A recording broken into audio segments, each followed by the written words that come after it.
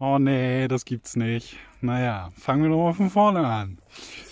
Hallo, hier ist der Lars äh, vom Podest. Hier laufe ich jetzt erstmal runter, um mir ein bisschen mehr Raum zu schaffen und euch auch ein bisschen mehr Einblicke von meinem Garten zu geben. Ja, ihr seht richtig, ich bin in meinem Garten, drehe ein Video, obwohl ich gesagt habe, ich mache Pause. Und äh, ich mache definitiv Pause. Und äh, die Grundregel war, mach Dinge, die dir Spaß machen, die dir gut tun. Und äh, ja, das mache ich gerade in diesem Moment. Ich bin aber nicht so scharf auf Film schneiden, deswegen wird das so ein One-Take-Ding ohne Unterbrechung. Hm. Mal gucken, wie ich mich so halte mit meinen Versprechern. Die sind sonst echt häufig drin. Aber äh, die schneide ich ja sonst raus. Beziehungsweise Versprecher nicht. Also äh, es sind ja bei mir meistens rote Fäden, an denen ich mich so lang hange und manchmal äh, habe ich die äh, falsche Abzweigung genommen oder irgendeine Abzweigung genommen, wo ich gar nicht hin sollte. Was wartet heute auf euch? Upsi. Was wartet heute auf euch? Ich habe hier jede Menge Blumen stehen, das wisst ihr ja generell. Und äh, der Insektensommer hat begonnen und das möchte ich euch nicht vorenthalten, weil ich kam hierher und ich merke auf jeden Fall, da gibt es eine Steigerung. Insektensommer habe ich gelesen und das wollen wir heute mal überprüfen. Gibt es da einen Anstieg bei mir auf jeden Fall? Kann ich bejahen und äh, da gibt es jede Menge zum Zeigen und jede Menge, ja, Highlights und echt so schöne Ecken und äh, das Leben in meinem Garten ist richtig schön gerade. Ja, ich fange jetzt zum x-ten Mal an und gerade der Versuch lief eigentlich sehr gut, bis ich die Kamera umdrehte und merkte, der Bildschirm ist schwarz. Und das bedeutet, ich habe nicht auf eine Aufnahme gedrückt. Und das waren schon ein paar Minütchen. Jetzt fange ich gerade wieder von vorne ein, von vorne an. Äh, deswegen so der Einstieg meines Videos. Ähm, da äh, kam noch ein bisschen was nach, was mit aufs Video kam. So, ich werde jetzt mit euch ein bisschen im Garten rumtickeln, gucke mir die Blumen an. Es wird kein Gartenrundgang, auf irgendeine Art schon, aber äh, nicht organisiert, nicht so wie ihr das kennt. Eine ganz andere Geschichte. Mit euch ein bisschen Garten erleben, ein bisschen Lars dabei. Und äh, ja, ich melde mich quasi aus der Pause und werde euch jetzt mal zeigen, was sich bei mir auch im Garten getan hat. Also es geht nicht nur um Bienchen, äh, Bienchen und Blümchen, sondern als ersten kleinen Einstieg, weil er gerade hier ist, ganz spontan. Hier habe ich mal wieder frei gemacht. Den Sven hatte ich zu Besuch. Und äh, ja, aber ich werde mich hier nicht lange aufhalten. Ich habe gesagt, es geht um Insekten und Blumen. Hier so trotzdem mal so ein kleiner Einblick, weil ich gerade dran vorbeikam. Ähm, ja, hier vorne ist ja mein Naturzaun Hochbeet. Das könnt ihr jetzt hinter mir sehen. Und hier ist das richtig schön am Wachsen und Blühen. Hier vorne haben wir Minze. Hier war das auf jeden Fall gerade sehr, sehr voll. Als ich die Aufnahmen gemacht habe, jetzt ein bisschen weniger, macht nichts. Äh, spielt auch keine Rolle. Die Natur funktioniert nicht nach Zeitplan. Da kann man sich nicht einmischen. Das wäre eine Illusion. Aber ein bisschen was bewegt sich hier. Ja, und das sind zwei verschiedene Minzearten. Also da könnt ihr sehen, weißblühend und hier halt, ja, so ein helles Violett. Ne? Aber schön was los und direkt daneben auch immer gut besucht, habe ich auch in meinen letzten Videos gerne gezeigt, ist hier der Fenchel, der Blattfenchel, den ich auch über den Winter wachsen lassen. Im Frühjahr super intensiver, schöner Duftgeschmack, mega gut. Ja, und dann habe ich in die Blüte schießen lassen und das sieht jetzt so aus. Ist richtig gut besucht von Bienen, Wespen, Käfern. Jetzt im Moment sogar viel mehr Wespen. Ja, richtig schön. Nun gut, wir gehen mal weiter, wir tingeln mal weiter. Oh, meine Banane. Von da habe ich gerade gefilmt und das Video angefangen. Da seht ihr noch die Nachtkerze im Hintergrund. Da habe ich auch jede Menge stehen und ich fange gleich mit einem schönen, schönen Highlight an. Denn das Ding hier, ach, das ist ja die Biene, macht es gerade wunderbar vor. Links am Ohr von mir schwirrt auch noch eine Biene rum. Die hat die Zwiebel entdeckt. Hier, guck mal. Da haben wir sie. Und da kam, glaube ich, gerade noch eine auf der anderen Seite. Ach nee, da ist so ein kleine, kleines anderes Insekt. Ach, wie schön. Auch mein neues Handy macht ja auch richtig, richtig tolle Aufnahmen. Selbst Zeitlupe, da werde ich für euch auch irgendwann noch mal was einfangen. Ja. Ah, schön. So, ein Schatten wollen wir nicht. Wir wollen die fleißigen Bienchen. Oh, na komm runter. Ich tue dir nichts. So, also hier könnt ihr sehen, richtig voll bestäubt hier. Die ganzen Pollen voll mit Staub, nicht voll bestäubt. Das muss ich ja gleich mal gerade rücken. Das wäre jetzt so ein Moment gewesen, wo ich auf jeden Fall beigehe und äh, ähm, ja, nochmal vorne, von vorne anfangen. Genauso wie bei dem jetzt. Es lief nicht ganz so flüssig. Also es gehört zu mir, dass ich mich verspreche, gar keine Frage. Habe ich immer äh, an vielen Stellen irgendwo mal drin gelassen. Ja, und äh, bei den Tomaten habe ich gemulcht. Ich habe nämlich ja, äh, die Schafswolle gekriegt. Die habe ich jetzt verteilt nach und nach. Ah, ich filme heute übrigens nur mit Handy. Sprich, wenn da mal ein Lüftchen kommt, wie in diesem Moment, das wird euch dann wahrscheinlich eher auffallen. Ich habe ja sonst mit Mikro, da ist es definitiv besser geworden, hätte ich nicht gedacht. Ich hatte ja schon mal ein bisschen was mit Popshots probiert, das war wohl noch nicht der richtige. Und das jetzt, na, jetzt, jetzt müsste Wind kommen. Obwohl das ist auf der anderen Seite, vielleicht habt ihr Glück. ja, ach, das ist so schön an verschiedenen Stellen hier und auch hier vorne bei, bei der Minze, direkt neben der Tomate und dem Kohl und so weiter, da ist auch am äh, äh, da, da ist es auch am Blühen und alles voller Insekten. Da guckt euch das an. Oh, den Schatten wollte ich jetzt nicht drauf machen. Ich drehe mich noch mal ein bisschen rum. Das sind auch so Sachen. Egal, rede ich nicht mehr drüber. Ich möchte, dass ihr genießt.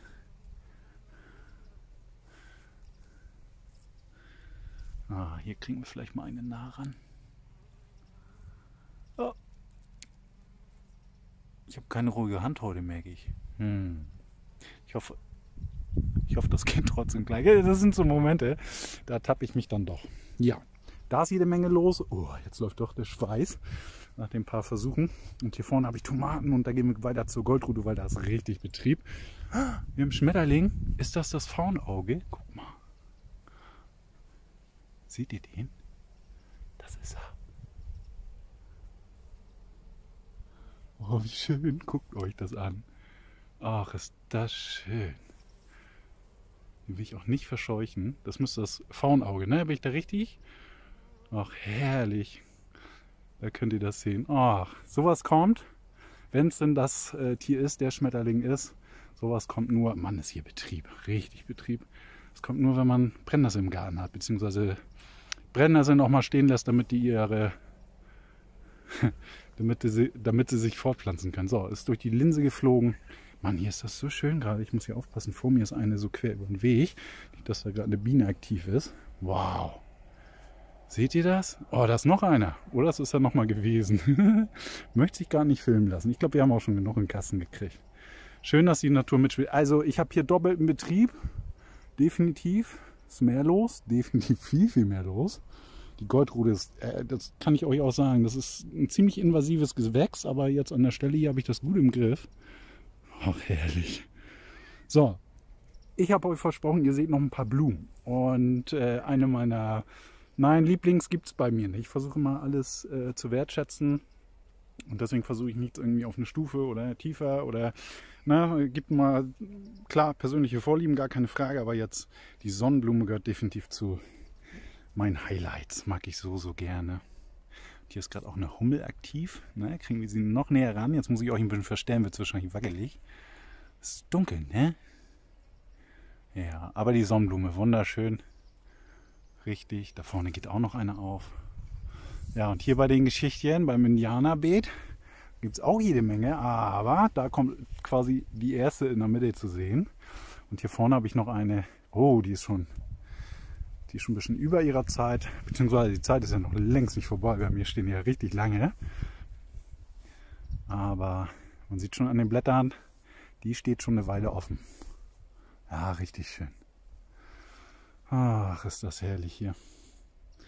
Ja, blümchenmäßig gibt es nach wie vor einige Stellen da unten mit den Kornblumen. Hier haben wir irgendwas Weißes dazwischen, kann ich noch gar nicht zuordnen. Verzehljahr. Guck mal, hier habe ich auch weiter gemulcht. Und ich habe auch schon ganz viel Knoblauch rausgeholt, aber da äh, sehe seh ich sogar noch einen liegen. Ähm, hier in der Erde gibt es noch ein paar. Hier ein bisschen dicht gewuchert. Ähm, gehabt von, von der Queke. Das ist auch recht hier. Guck mal, was ich rausgeholt habe. Ne, das ist schon. Ne, da vorne liegt auch noch einiges. Das gehört hier alles zu. Ja, aber Spitzkohl steht super da. Die Tomaten haben Hilfe gekriegt, da müssen aber noch zwei Stöcke im Boden, damit die ja auch über das Seilsystem dann äh, ihren Halt kriegen. Genauso die Pflanzen hier vorne, die brauchen auch noch ein bisschen was. Muss auch noch ein bisschen basteln. Ah, hier ist das so schön. Die äh, blaue Kornblume, ich mag diese Farbe so gerne. Ich weiß auch nicht, ob ich irgendwie schon blau im Garten hatte. Da haben wir eine schöne Wildbiene.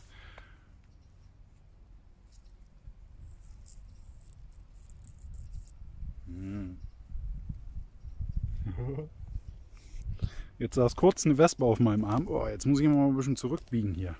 Ja. so schön hier. Echt, echt so herrlich. Wir können noch mal gucken.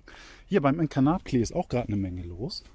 Das heißt eine Menge. Es ist im Schatten ein bisschen weniger schwerer zu finden. Dennoch, hier zum Beispiel eine Wildbiene. oh, wie schön. Hier habe ich aber gerade noch andere gesehen. Nicht so wichtig. Vorführeffekt.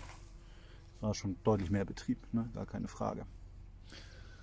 Ach, herrlich. Hallo Thomas. nix? Nix. Er sagt nix. Er hat heute keine Lust wahrscheinlich, soll das heißen. Ach, herrlich. Das ist so schön. Ach, und auch auf den Zwiebeln. Auf den Zwiebeln habe ich am Anfang schon gezeigt, ist mal richtig schön Betrieb. Mm. Ich sollte mal das Wort immer weglassen. Ich finde sie einfach toll. Ha, Vorführeffekt. Dankeschön. ja, ist einfach überall was los. Richtig schön.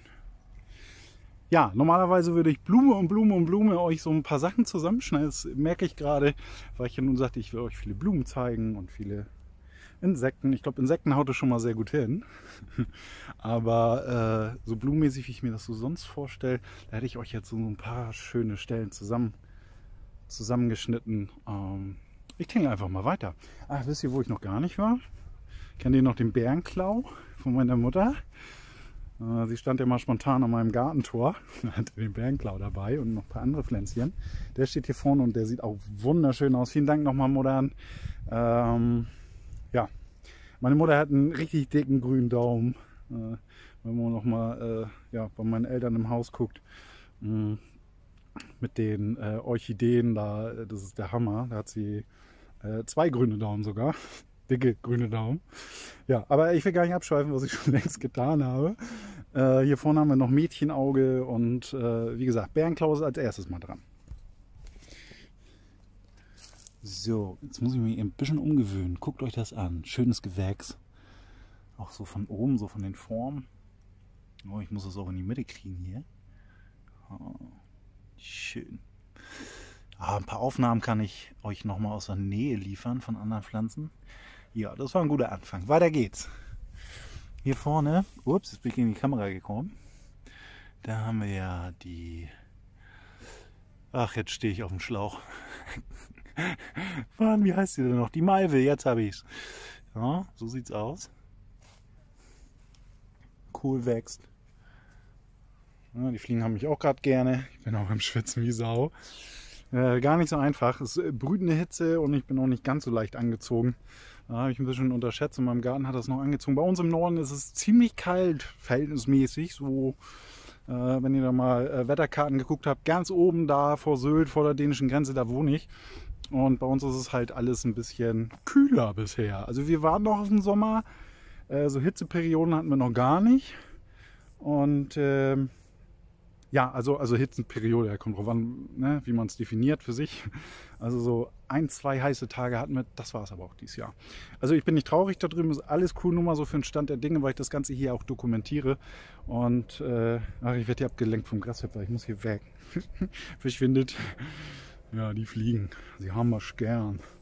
So, ähm, gut. Wollt ihr noch ein bisschen was vom Garten sehen? ich würde sagen, Insekten, Blumen und so, da wird sich vielleicht das eine oder andere noch ergeben. Äh, ich tingel doch noch mal ein bisschen durch die Beete. Eine Zucchini hatte ich schon geerntet. Da will ich jetzt nichts mehr zeigen. Oh, Physalis. Physalis. Zug kommt vorbei. Guckt euch das mal an. Das was am Blühen. Oh, guck mal, da kann ich doch schon was liefern aus der Nähe. Oh, ich komme nicht ran, alles im Weg und im Schatten. Ja. Na gut. Äh, ist ein bisschen ungewohnt, in einem durchzufilmen. Das lenkt mich tierisch ab. Ihr merkt, dass ich sabbel auch so viel darüber. Also, muss ja auch mal aufhören hier. So, äh, also muss gar nichts. Nee, gar keine Frage. Ich mache mich gerade nur selber äh, kirre, könnte man sagen. Ja, hier wächst das richtig schön vor meiner Nase. Das ist ein cool angelegtes Beet gewesen, ziemlich spontan, zack, zack, zack, zack, zack, einfach irgendwie alles rein, was zusammenpasst. Äh, Nochmal nachgesehen hier mit jungen Erbsen, die sind mittlerweile so, so groß. So, so groß. so groß. Ja, richtig schön. Und auch hier Kohlrabi, richtig riesig. Das müsste auch ein super Schmelz sein. Ja, so sieht das hier aus. Hier bin ich auch jede Menge am Erbsen ernten. Ich sehe auch schon ein paar Reife wieder. Oh, wisst ihr was? Da stiefel ich gleich mal rein, nimm was mit. Und hier äh, der Rosenkohl, der erste von denen. Also, oh Gott, ich muss euch umstellen. Ist ein bisschen doof. Da könnt ihr da reingucken. Da kommen schon die ersten kleinen, wie sagt man, Röschen, ne? Da auch im Licht so ein bisschen oben links, könnt ihr das sehen? Da. ja, auch schön. Da darf aber auch mal wieder Beikraut raus. Die Möhrchen und so müssen hier auch gut aussehen. Also ich wollte hier mal ein paar Erbsen holen, ne? Mit euch dabei. Dafür muss ich euch auch wieder umstellen. Ich weiß gar nicht, warum das hier so schwer geht. Ah, da muss ich drehen. Ich stelle das nicht so oft um. Mal gucken, ob hier was ist. Da ist eine Reife auf jeden Fall. räusper, räusper.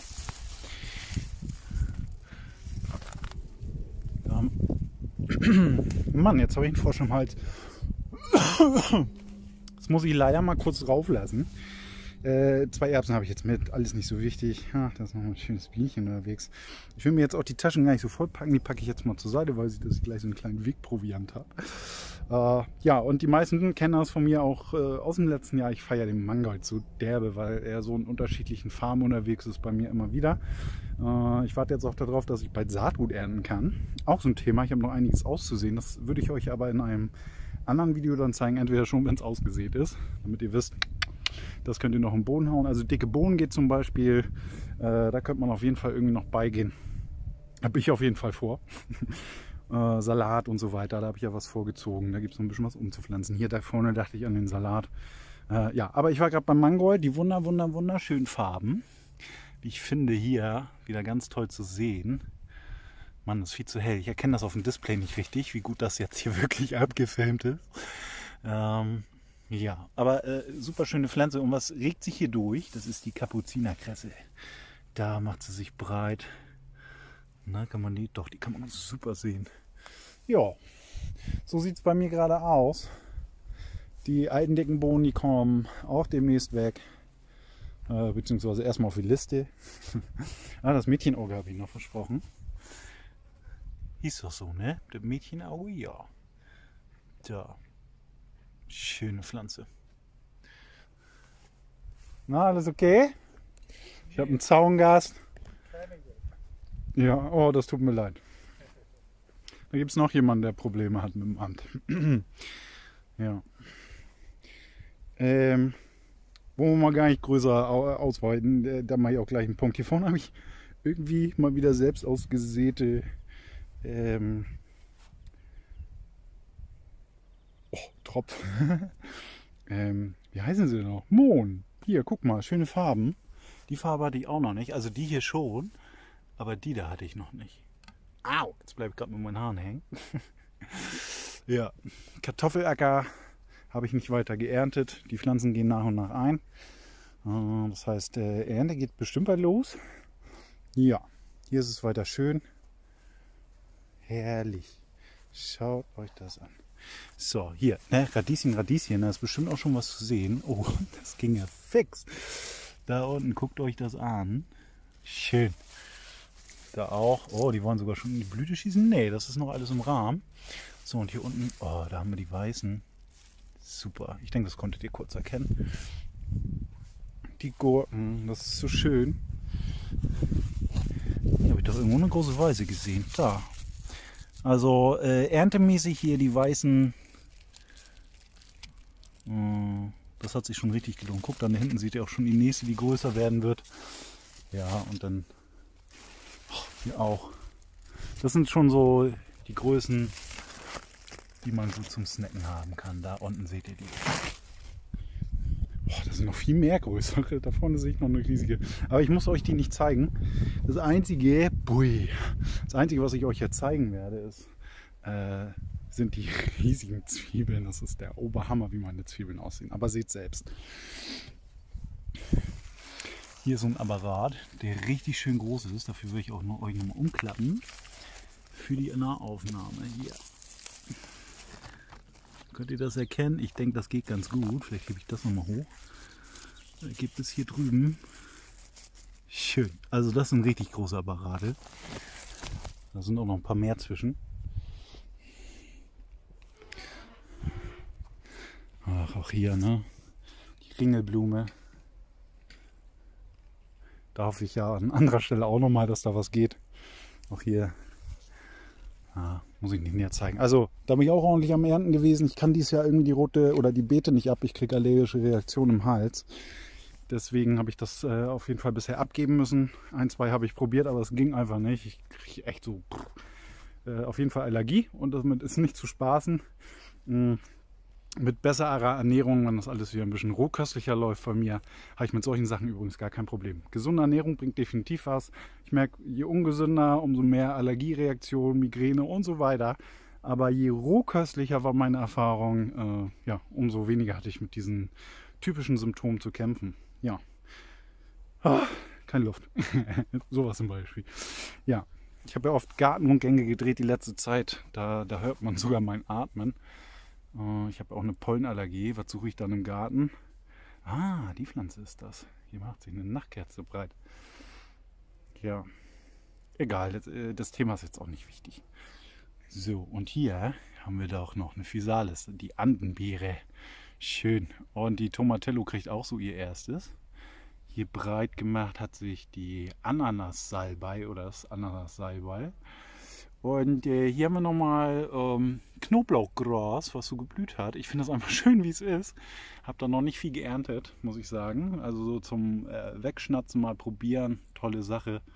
Aber so insgesamt nicht, nicht viel Stress. So, und ich hatte ja so irgendwann nochmal eine Artischocke umgepflanzt. Mann, die ist kahl gefuttert. Na, das sieht mir nach Schnecken aus. Sehe ich das richtig? ah, die ist hartnäckig. Da kommt in der Mitte schon wieder was. Die andere sieht so aus, die war auch gleich, aber da ich gemerkt habe, das hier nimmt so richtig Platz weg, habe ich das ein bisschen nach äh, wegversetzt und äh, ja, damit sich das nicht im Gehege ist. Mann, ich schmilze dahin. Das ist wirklich warm. Oh, hier wie so ein Zepter. Aber es geht weit weg. Also ist, ich finde diesen, diesen Winkel, äh, den ich jetzt benutzen kann, diesen Weitwinkel, der ist äh, definitiv bereichernd für meinen Kanal. Ich denke, äh, ihr da draußen denkt das auch. Der eine oder andere auf jeden Fall. Also so Kameraführung und so ist nochmal eine Geschichte, aber es geht jetzt rein um die Technik dieser Weitwinkel. Ähm, Habe ich viel positive Resonanz gekriegt. Äh, es ist eine schöne Sache und macht mir auch unglaublich viel Spaß, weil ich auch viel mehr auf die Linse kriege. Guck mal, ihr habt jetzt im Hintergrund jetzt vielleicht sogar ein bisschen Sonne. Ja, und der Himmel ist so schön. Guckt euch das an. Also die Kamera, äh, also die Kamera ist keine Kamera an sich, also keine Hauptkamera, sondern es ist ein Handy. Äh, aus dem letzten Jahr ein gutes Modell. Ich mache mich da immer schlau und äh, gucke viele Tests an, bevor das nächste Handy kommt. Alle zwei Jahre gibt es ja bei mir ein neues Handy. Und äh, ja, so komme ich an diese tollen Videos letztendlich oder Videoaufnahmen. Ja, was habe ich denn noch hier so, so zu zeigen? Hier ist ja so viel Schönes los. Hier meinte ich, oder vorhin meinte ich ja bei dem Pfauenaugen Schmetterling, also das Pfauenauge, äh, wenn man Brenners entstehen lässt, das ist so der Platz, wo sie sich dann vermehren. Und äh, ja, anscheinend hat sich das gelohnt. Das war jetzt schon der zweite. Ich habe ja gerade auch erst ein Video gedreht. Da kann man ja, sogar hier an der Stelle, wo ich gerade laufe. Oh Mensch, das sieht so schön aus mit dieser Artischocke. Guckt euch das an. Herrlich. So, was machen wir denn? Äh, zeige ich euch noch was? Zeige ich euch nichts? Aussehen? Nee. Es muss noch genug übrig bleiben für einen weiteren. Oh, jetzt hier bin ich ein bisschen verkippt noch. Äh, es muss noch genug Zeit bleiben für einen weiteren, äh, also für einen Gartenrundgang, Raum. Und äh, Gartenrundgänge gab es im Juli genug. Zwei müssen das gewesen sein, oder? Ein, zwei? Ja, doch, zwei Stück. Und ich möchte jetzt nicht noch am 31. 31. einen weiteren filmen. Deswegen so ein bisschen eine andere Folge. Trotzdem ein paar Highlights aus dem Garten. Ich hoffe, euch hat das gefallen. Ähm, freut mich auf jeden Fall für alle, die bis hierhin dran geblieben sind. Und äh, ja, ich würde mich freuen, wenn ihr wieder das nächste Mal dabei seid und sage an dieser Stelle Tschüss, euer Lars und weg. Tschüss.